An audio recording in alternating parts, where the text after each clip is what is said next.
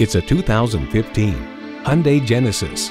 It's an evolution in luxury, engaging the senses with its design, its performance, and its first-class experience.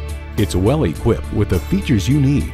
Streaming audio, power heated mirrors, dual zone climate control, auto dimming rear view mirror, doors and push button start proximity key, heated steering wheel, V6 engine, first and second row power sliding and tilting sunroof, gas pressurized shocks, and heated and ventilated leather bucket seats.